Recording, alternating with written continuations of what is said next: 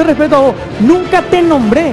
Nunca te nombré. Nunca me nombraste. Nunca me nombraste. ¿Cuándo una vez te Nunca nombré? me nombraste. Una vez escuchaste de mí y digo, Juliano, de imbécil. Juliano, Shai, jamás. Shai, No, piso. Primero cuidemos las palabras, ¿sí? Eh, No, por favor. Porque una cosa pero chiche, él dice que nunca faltó al respeto. Yo creo que soy el que nunca te falta al respeto. Yo nunca te dije malas palabras, nunca te dije groserías. Si vos O si vos considerás. Sí, siempre, siempre. Yo lo que dije solamente Cuando yo lo que alzo- yo creo que es la yo verdad. alzo Si para brazo, vos mira, faltar al respeto es a decirte decir la una cosa. verdad, entonces tenés un mal a concepto una de lo que es faltar al respeto. Estás No pendiente, no viejo. existir lo que no Estás pendiente a lo que digo. Por que eso, es una estás falta todo.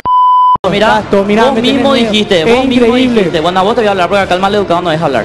Mira, vos mismo dijiste, Shai, que todos acá somos iguales. ¿Qué implica ser iguales? Implica tener las mismas responsabilidades, las mismas obligaciones y las mismas ¿Sabes exigencias. qué implica? Y si a mí, por ejemplo, ¿Sabes? se me exige, si dice el profesor, ¿Sabes todos los varones vayan a traer las pesas y los 10 varones nos vamos a traer y vos te pasás hablando por celular para ver un negocio de quién sabe qué cosa, Viejo, eso yo- es una falta de respeto no para te- tu no te- no nomás, ¿sí Claro que sí, por Y bueno, supuesto, y pero yo entonces- tengo y entonces, manager, ¿qué tengo? Que me- jefe, Que me calle y tengo trabajo a otro lado, tengo Disculpa, trabajo a otro se me lado. enseñó a callarme. Y vos cuando- y vos cuando- cuando profesor- cuando yo vos no profesor- me voy a callar. Espera, están hablando los dos. Yo vos no me voy a callar.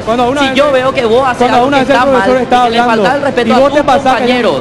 trabajar de vos. Hay veces que estamos trabajando en educación física no se puede trabajar vos, sos el más cachafá No. y el profesor puede decir, Una cosa que haga broma, una cosa es que haga broma. Pero la otra vez, molestás, justamente cuando el profesor me dice, el profesor me dice, vamos a jugar, jugamos. El profesor dice, vamos a trabajar, trabajamos. Si querés también se le puede preguntar al profesor, o él acaso no se puede opinar por tu actitud, ¿por qué entonces no opinó por mí?